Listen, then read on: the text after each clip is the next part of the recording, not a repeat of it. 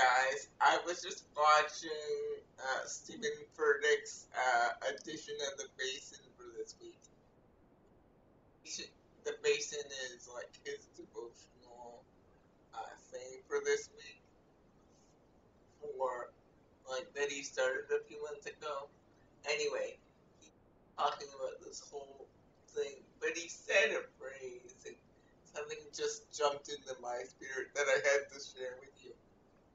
Um, uh, he was talking about um, prioritizing and whatever, and um, he, he said something about putting God first.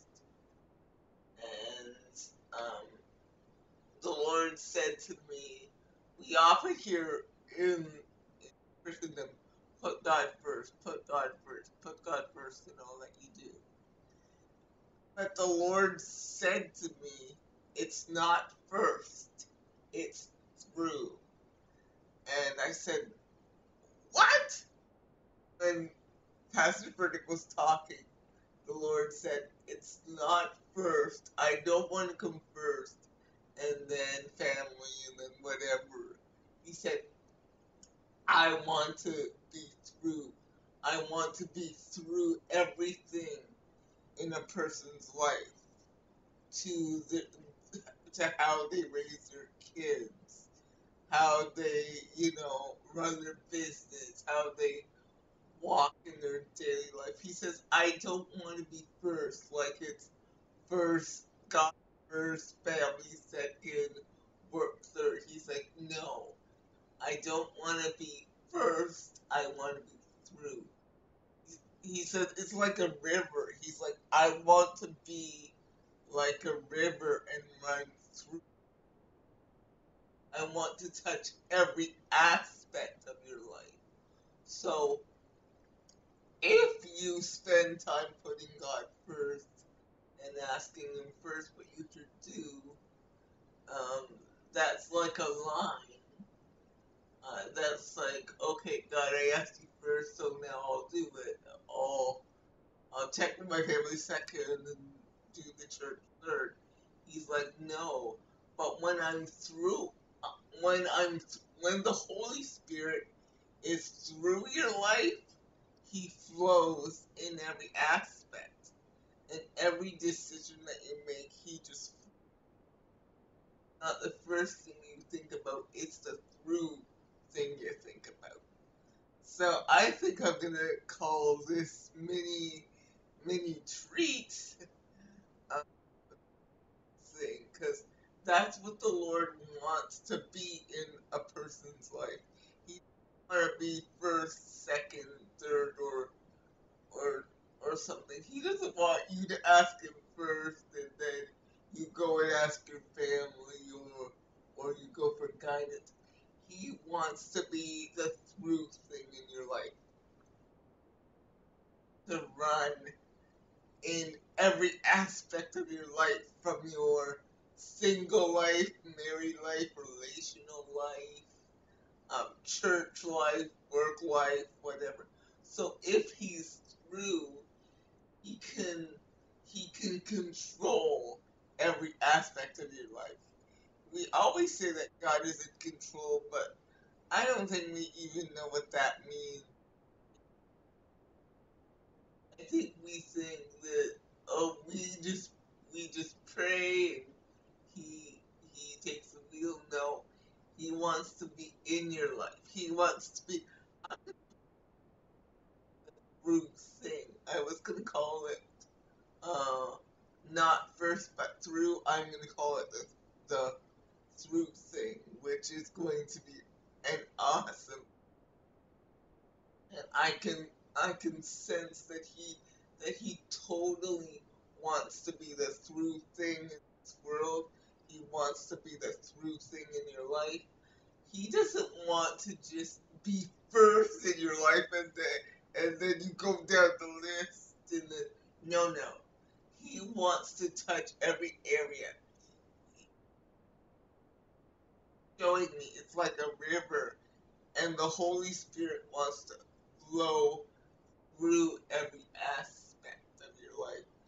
He wants to be the the waves in in your life. He wants to be the lake in your life, and he touches every aspect of your life, and that's how your how your life will flow easily but better. But e- so even when hard times come, when the Lord is uh, flowing through your life, He will give you strategies to make it more bearable to go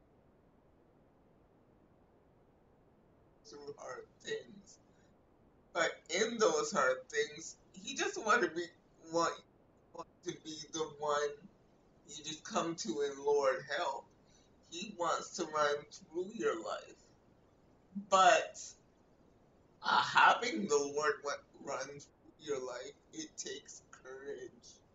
It takes courage. It takes relationship. And He wants a real relationship with you. Um, and I just to come in, in your life and, and uh, control it. He wants that too, because he wants to lovingly help you dictator and he wants to control you. When you give the Lord control of your life, it's gentle. He he takes over, but he knows you and he knows how to take over and he really wants to be the through thing in your life uh, and he's really desperate to be the the through thing. And i'm just it's just wonderful what the lord is uh, doing what he's about to do.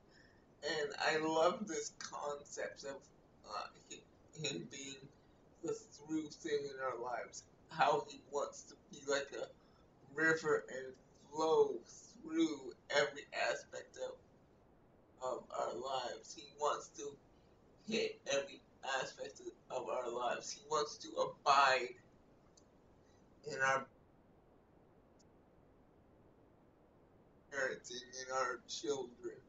For us single people, He wants to abide in our dating lives. He wants to be Lord of all of that. He doesn't want to come first in our lives. He wants to come through our lives and stay there.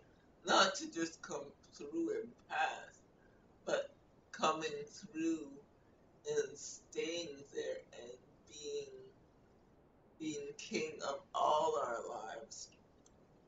All compartmentalize and he just doesn't want us to compartmentalize.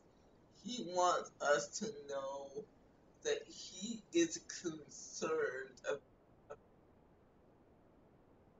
he's concerned about our marriage, he's concerned about our singleness, concerned about our lack of friends, he's concerned about He's concerned about every aspect of our lives. He's concerned about whether we'll get this project done, and he he knows strategy. He knows the strategies to help us. So he wants to be um, the through thing in our lives. He wants to be thing, the thing running through every aspect. And I'm just so grateful for this. Uh, thank you, Lord, for this revelation. And, and Lord, I pray for myself too that you, aspects of my life, the, my, every aspect with the attendance, every aspect with my diabetes, um, every aspect in my work life, you know, what they're the big things I'm dreaming about.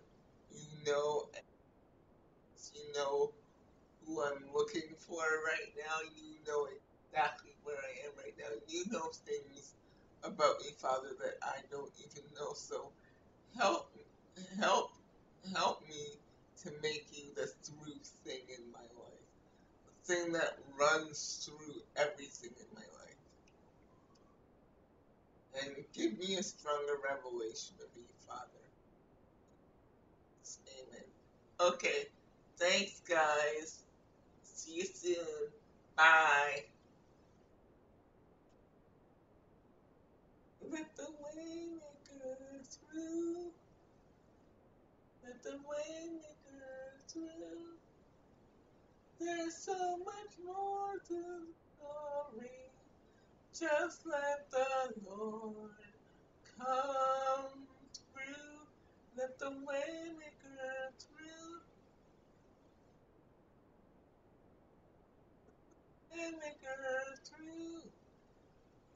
so much more to the story. Just let the Lord come through.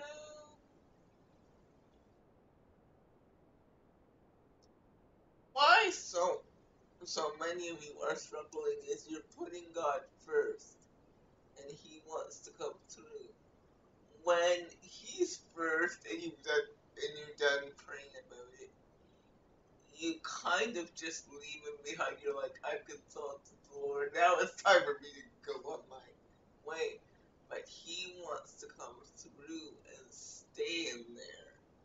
He wants to be in there with you. He just doesn't want you to consult consult him and then take what he gives you and then run with it. He wants to be through every aspect. He wants to run through every aspect of your life. And he's saying, the waymaker through. Let the waymaker through.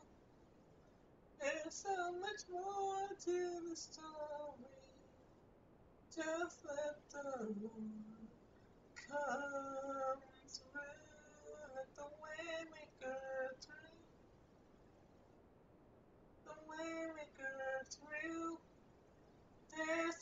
much more to the story.